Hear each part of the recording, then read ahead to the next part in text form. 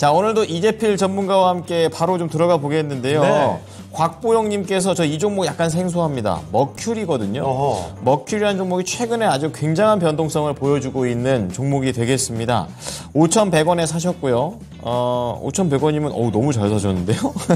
그래요? 너무 잘 어, 사셨는데요. 급등 직전 아니에요? 급등 직전이에요. 예. 15%의 비중으로 들어가셨는데 지금은 그야말로 아, 일봉으로 보게 되면은 난리가 났습니다. 네. 바바박 바바박 이게 움직이고 있는데 어떻게 해야 될지 알아보겠습니다. 머큐리 이거 어떤 회사인지 궁금하고요, 전문가님. 어, 전망 어떻게 보십니까? 자, 이 머큐리 같은 경우는 통신 장비 업종이죠. 어, 그래서 과거에, 어, 뭐 이 5G 섹터들, 이럴 때 움직일 때, 어, 굉장히 좀 탄력 있게, 뭐 그렇게 움직였었는데요. 자, 뭐 상장된 지는 그렇게 아주 크게 오래되지는 않았습니다. 2018년도 말 정도에 상장이 됐으니까 5G 종목들 막 이렇게 다 움직이고 뭐 그러고 난 다음에 어 저 끝물쯤 됐을 때 5G 섹터들이 움직이긴 2017년도부터 움직였죠. 자, 그때 상장한 종목인데 그러고 난 다음에는 뭐 별 특별한 그런 흐름은 없었습니다.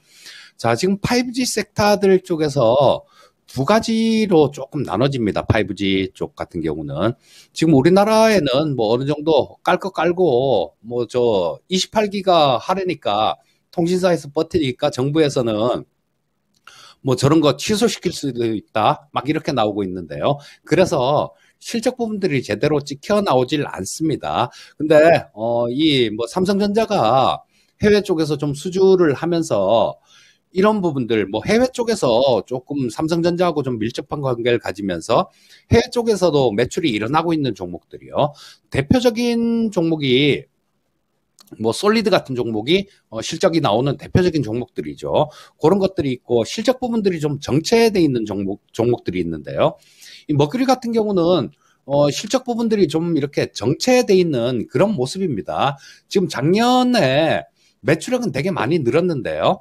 일단 뭐 영업이익 같은 경우는 줄어들었습니다. 그러니까 뭐 아주 좋다 뭐 이렇게 볼 수도 없는 거예요. 그리고 이게 저 과거에 상장할 때 그때 당시 실적이 제일 좋았어요. 그때 당시가 뭐 한 영업이익 기준으로 2018년도에 한 100억 정도 나왔는데요. 지금 작년 기준으로 한 49억 정도 나왔으니까 어 뭐 그때 상장할 때보다 지금 좀 많이 못해진 그런 상황이죠. 자, 그래서 일단 어 이 실적 부분들이 좀 찍혀 나오는 그런 부분들이 있다라면 아, 해외 쪽에서 잘 적응을 하고 있구나라고 그렇게 이해를 할 수 있는데요. 실제로 머큐리는 그런 모습은 아닙니다. 그렇기 때문에 일단 뭐 지금 계속 이렇게 좀 하락 채널을 그리다가 반등이 나오고 있는데요. 좀 저항받을 부분들, 이런 부분들이 좀 있습니다. 지금 현재 위치 정도가. 보시면 이쪽에서도 어 뭐 저 한 8천 원 근처 그쯤에서 좀 예, 저항을 받았고 이쪽에서도 마찬가지죠. 그리고 지금 보시게 되면 어 요거 주봉인데요. 주봉상으로 보시게 되면 자, 뭐 일봉으로 봐서는 좀 제대로 잘 안 나오는데 주봉으로 보면 좀 명확하게 좀 나옵니다. 자, 이때 급등했을 때 이때 거래량은 그렇게 크게 많지가 않았는데요. 자, 여기서 보시게 되면 그 다음 주에 보시게 되면 거래량이 굉장히 크게 늘어난 그런 모습이죠.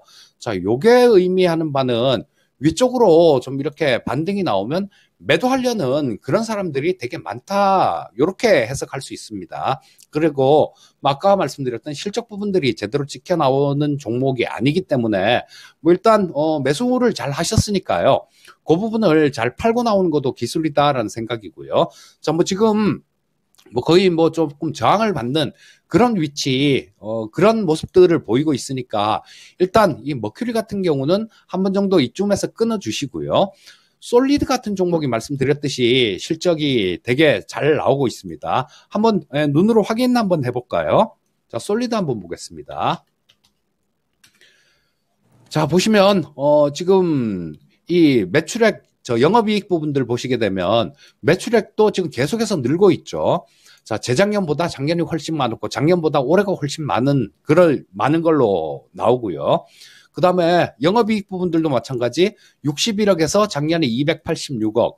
올해 뭐 1, 2분기 올해 저 온기로는 한 411억 정도 기록이 예상되고 있는데 1, 2분기 합쳐서 163억 정도 영업이익이 흑자가 났습니다. 그러니까 실적 부분들은 이런 쪽이 좀 좋아지고 있으니까 뭐 같은 통신 장비 업종들 그리고 어, 5G 관련되는 그런 쪽으로 엮이는 그런 부분이다라면 지금 그쪽은 머큐리는 차익 실현하고 솔리드 같은 종목으로 갈아타시는 게 좀 더 낫겠다. 이렇게 말씀드리겠습니다.